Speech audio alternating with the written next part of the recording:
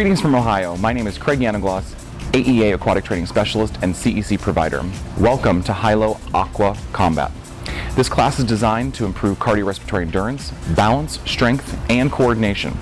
Broken into four segments, this is a very easy to follow format that will allow your students to be both challenged and rewarded. So we're repeating here from the top and just doing those simple movements back and forth, warming up all the different muscle groups, and we're still staying with the cross country ski in three. Knee lift, that knee comes to the front, and then it steps forward. And we're adding on with three karate kicks, and then a jump kick. Jump kick. Ski, ski, ski, knee lift, kick, kick, kick, jump, kick. Cross, hook, and upper. Stabilizing the core, especially on those hooks and upper. So we're adding on in our third block, which is actually a side kick, which begins with the front lead leg. And then we go to a cross kick. So again, the heart rate's going higher here because the music is faster. We've got difference in tempo. Still very easy to follow.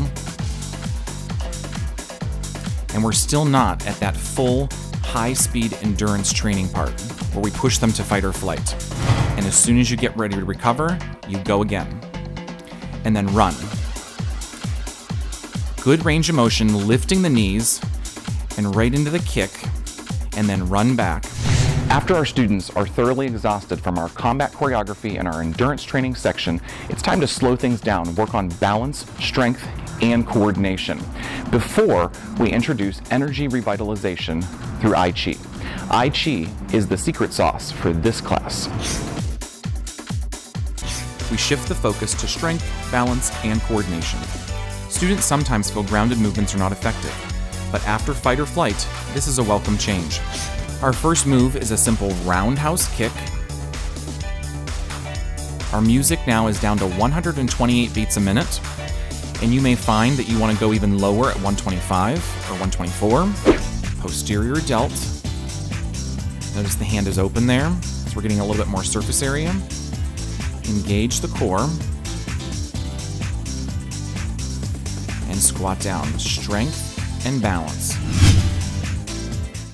This is a very gentle and relaxing portion and what really is the secret sauce to Hi-Lo aqua combat. People love a great workout, and they love feeling exhausted, but if they can be exhausted and then be re rejuvenated, they tend to enjoy the class even more because they know they're going to feel so good at the end. Now we're moving into another position, or what we do visually is we talk to our students about visualizing a large ball or a globe. My participants love being challenged in this combat-inspired workout, but they especially love the Ai Chi ending.